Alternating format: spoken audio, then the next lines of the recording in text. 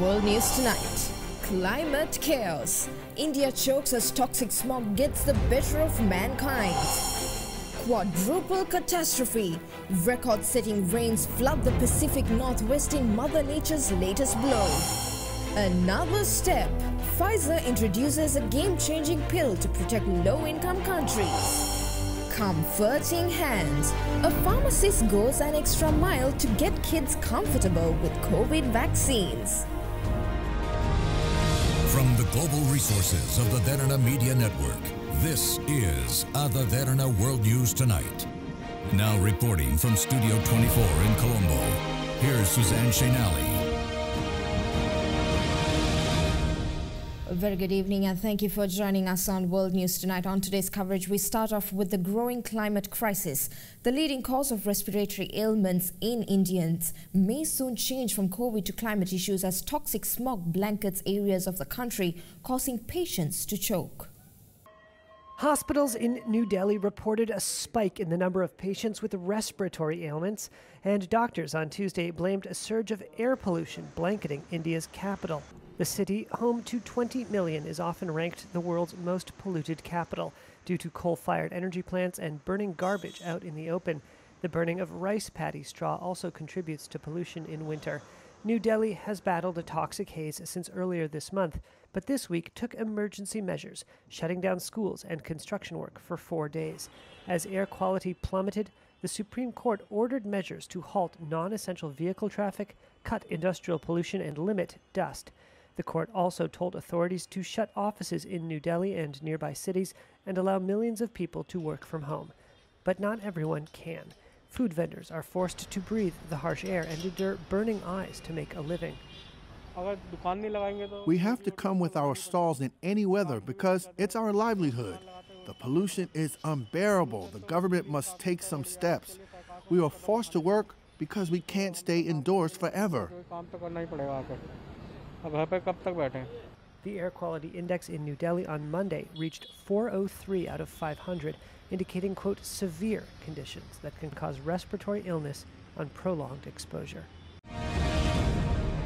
A quadruple catastrophe is hitting Washington state this week as record rains, fierce flooding, strong winds and multiple landslides strike across the state. More than 500 people have been forced from their homes near the border to Canada due to the devastating weather. This deadly and devastating deluge delivering an unrelenting blow to the Pacific Northwest, a quadruple catastrophe. Record rain, fierce flooding, whipping winds, and multiple mudslides. They're in a bad way out there, a lot of water and it's only getting higher. With northern Washington state in the storm's bullseye, more than 500 people have been forced from their homes as daring rescues unfold near the Canadian border. Child's with them holding, it's a very small child. The Coast Guard plucking a baby, three children and six adults from fast rising waters. In just hours, six inches of rain swamped the region, a state of emergency amid these deadly conditions. Facing peril on both sides of the border, massive helicopters lifted over 300 to safety, many trapped overnight after a highway buckled and a landslide killed at least one in Canada. Back to back atmospheric rivers helping to dump 40 inches of rain in just 31 days, the wettest fall on record for Seattle. With climate change fueling the intensity and frequency of storms like these, powerful gusts nearly toppled a big rig over the side of a towering bridge as landslides reshape the geography here. The brunt of the storm has passed, but not the flooding. Tonight, one disaster now followed by another for a region still deep in misery. US President Joe Biden, in his latest public address, stated that America will soon begin moving again as he attempted to boost the slumping numbers of Democrat popularity. Because of this delegation, New Hampshire and America are moving again. Fresh from signing the bipartisan infrastructure bill into law, U.S. President Joe Biden on Tuesday traveled to New Hampshire, a key state in next year's midterm elections, where he spoke from the NH 175 bridge one of many in need of repair. This may not seem like a big bridge, but it saves lives and solves problems. And right now, there are 215 bridges in your state 215 bridges deemed structurally unsafe in New Hampshire alone. Biden and fellow Democrats are betting that bipartisan progress on popular policies like infrastructure spending and job creation can win over voters in the face of slumping polls. You know, let me tell you, the infrastructure law signed yesterday, and this is not hyperbole, would not have been possible without this delegation. That's a fact. To that end, Biden gave a boost to the New Hampshire Democrats who helped make the bill happen. In particular, Senator Maggie Hassan, who is up for re election in 2022 and could face a close race, some analysts say. Maggie, you did one hell of a job. Because, folks, you should know that Maggie was a key player in every aspect of this law. New Hampshire is also home to two congressional contests for positions now held by Democrats in a midterm where the party can afford barely any losses. Biden's approval rating in New Hampshire, which he carried by 7.4 percentage points in 2020, is around 44%, according to the latest statewide poll conducted in October by St. Anselm College. Biden travels to Detroit on Wednesday, and Vice President Kamala Harris visits Columbus, Ohio on Friday to tout the package in an effort to hammer home the message that Democrats delivered on their promises. Russia's defense ministry admitted to destroying one of its satellites during a missile test but rejected U.S. accusations that it had endangered the International Space Station. U.S. officials accused Russia of a dangerous and irresponsible strike on a satellite that had created a cloud of debris and forced the ISS crew to take evasion action. It is a missile test that sent the crew of the International Space Station racing for safe haven in their spaceship capsules, just in case a quick getaway was necessary. For earlier on Monday, according to the U.S., Russia fired a projectile into space and blew up one of its old defunct satellites, sending a debris cloud into orbit one that is made up of 1,500 trackable fragments and hundreds of thousands of others and they could potentially collide with other satellites or the ISS. Even if the seven member crew, including two Russians, were able to leave the Soyuz and Dragon capsules after a couple hours, the United States said the risk to the research lab and other satellites could last years. Russia's dangerous and irresponsible behavior jeopardizes the long term sustainability of our outer space and clearly demonstrates that Russia's claims of opposing the weaponization of space are disingenuous and hypocritical. The test has raised a red flag for the U.S. about a new form of Star Wars, or the race by countries like Russia to flex their space muscles with new weapons.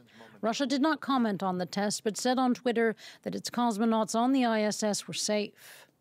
Also, Russia isn't alone in showing its ability to shoot down satellites. The US, India, and China have also done it as well. Currently, there are over 4,500 satellites orbiting the Earth that are used for crucial weather intelligence, finance, and communications information. So, the increasing quantity of space junk and the deliberate creation of it has sparked more calls for international rules on such tests. Polish forces fired tear gas and deployed water cannons against stone-throwing migrants trying to cross the Belarusian border, sparking accusations from Belarus that Poland was trying to escalate the crisis. Tensions boil over at this border crossing. Polish police fire water cannon at a group of migrants they say threw objects from the Belarusian side, severely injuring an officer. It's one example of the mounting pressure after weeks of thousands of asylum seekers being stranded in limbo. Belarusian President Alexander Lukashenko said Tuesday he spoke to German Chancellor Angela Merkel about reducing the strain. We came to an agreement that escalation is not in the interests of either the European Union or Belarus. We cannot allow an escalation to happen, even though some may wish for it to happen, all the way up to a direct military confrontation. Most of the migrants arrived in Belarus from the Middle East, many taking planes to Minsk after being granted visas. Migrants report then being taken to the borders and told they can't go back to the Belarusian capital. Belarus army forced me and our my friend to get here yeah. and the soldier uh, take our mobile phone the EU says Belarus is weaponizing migrants in revenge for sanctions. President Lukashenko denies this, but a former Belarusian diplomat told France 24 this is exactly what Lukashenko planned. Lukashenko promised that, okay, if you're imposing sanctions on me, then I will be organizing the problems on your border uh, to put a blind eye on this uh, illegal migration. So he just fulfilled the promise. Scenes of chaos like these do not reflect well on the EU. But as winter approaches, the Polish government says it is preparing for the crisis to stretch on for months. The latest on the COVID crisis right after this break. You're watching World News.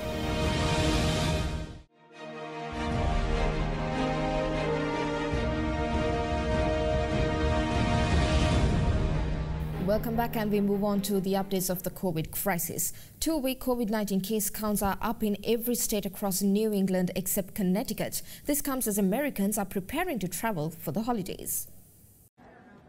Tonight, the federal government playing catch up with states on who's eligible for a booster shot.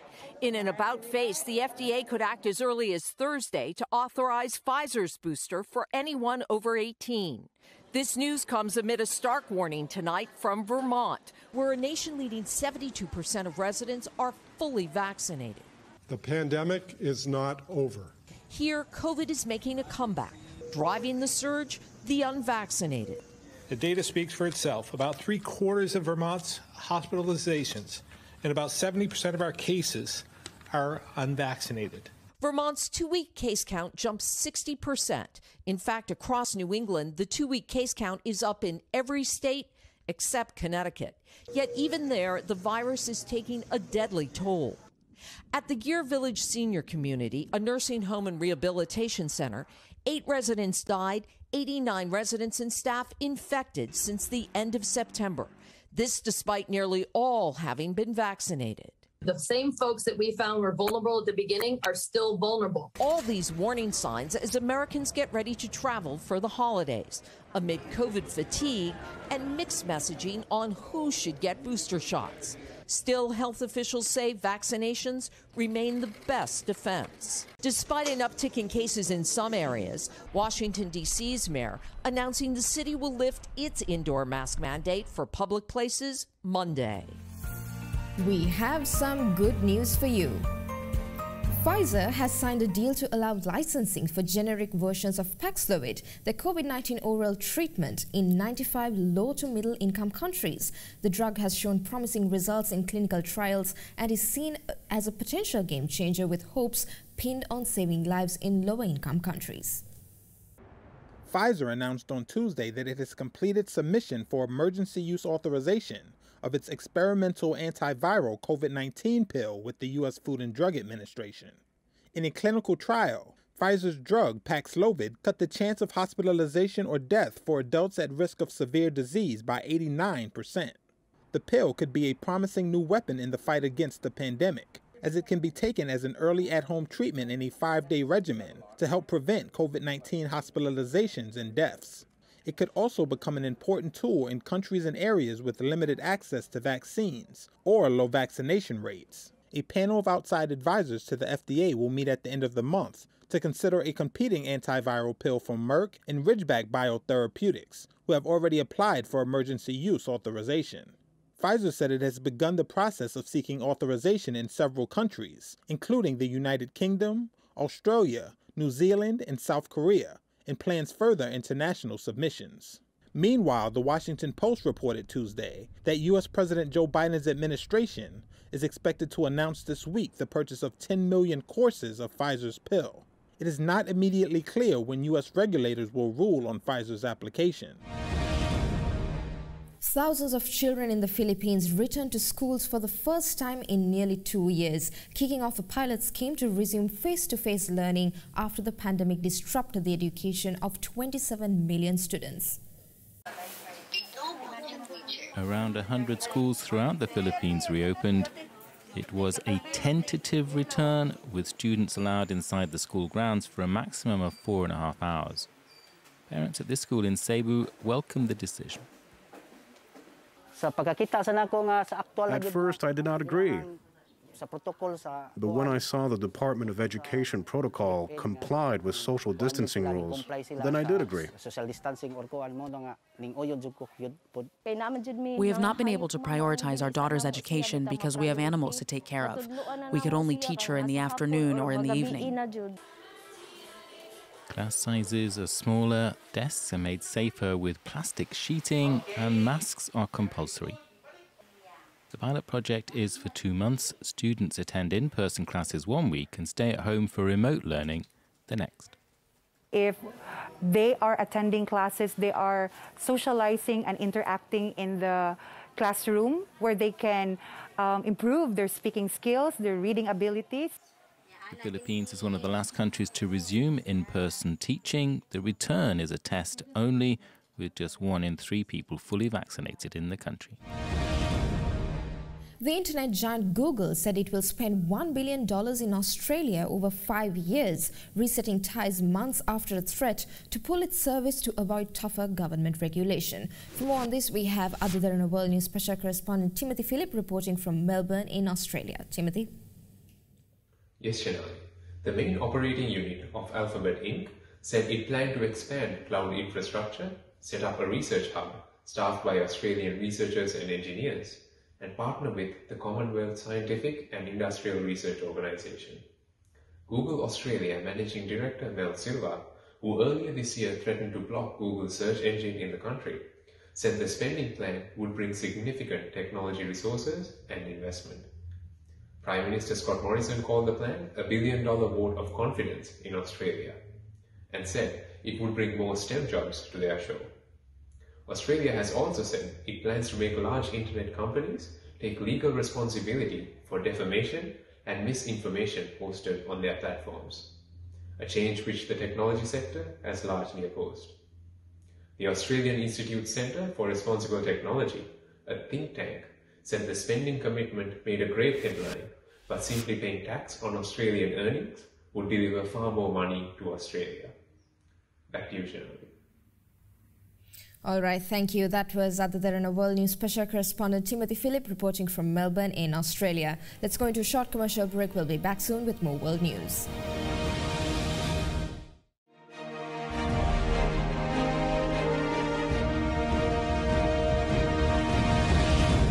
Welcome back, and for more news, let's take you around the world in a minute.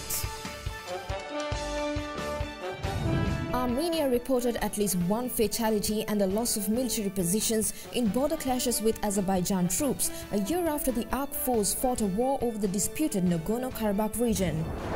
Chile's Senate declined to impeach President Sebastian Pinera over a business deal revealed in the Pandora Papers leaks, refusing to go along with the lower chamber of Congress in opening proceedings against him. French police cleared a major migrant camp that was home to around a thousand people hoping to reach Britain amid tensions between London and Paris over channel crossings. South Korea is shortening the interval between primary and booster vaccine doses. Prime Minister Kim Boo-kyum says people aged 60 and above can get booster shots at least four months after being fully inoculated. An 86-year-old great-grandmother was crowned Miss Holocaust Survivor in an annual Israeli beauty pageant designed to honor women who endured the horrors of the Nazi genocide.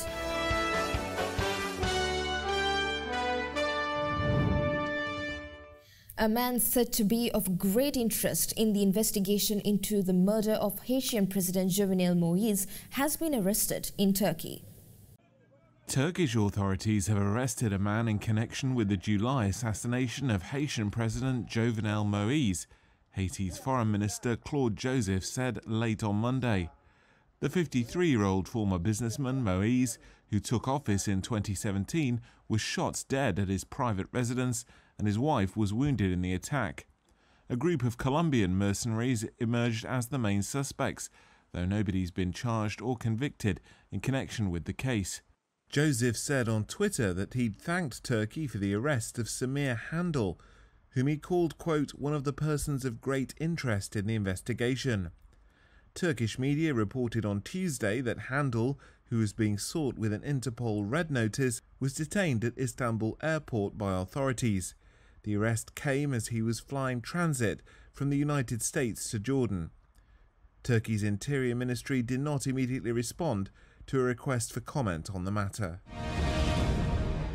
And finally tonight, Pennsylvania pharmacist Chichi Moma is going above and beyond to make kids comfortable with getting their vaccine shot, trading in her white coat for a cartoon costume and even holding a carnival. A Pennsylvania school gym turned into a carnival may be the best place for kids to get vaccinated. With balloons, candy, and superheroes. You did it! Taking the sting out of the shot, the woman in the costume, pharmacist Chichi Moma, came up with the idea getting more than 18,000 kids vaccinated. And she had experience to make it work. I give good shots. When Chichi's small pharmacy was inundated with calls from adults wanting the vaccine, in a county with no public health department, she got busy and went from having only 100 doses to giving out more than 30,000 vaccines. And she did the same thing to get shots for kids, but traded in her white pharmacy coat for a cartoon costume. And if taking off the white coat makes the child more comfortable, that's exactly what I'm going to do. Parents lined up with their kids. It's, it's remarkable. One woman on a mission. Doing what I love to do, which is helping people. Helping them stay well. In case you have missed any of the stories we aired tonight, you can rewatch by catching us on our YouTube page, youtube.com slash English. And that's all the news we have for you tonight. Join us again tomorrow with another edition of World News. I'm Suzanne Shanali. Until then, stay safe and have a good night.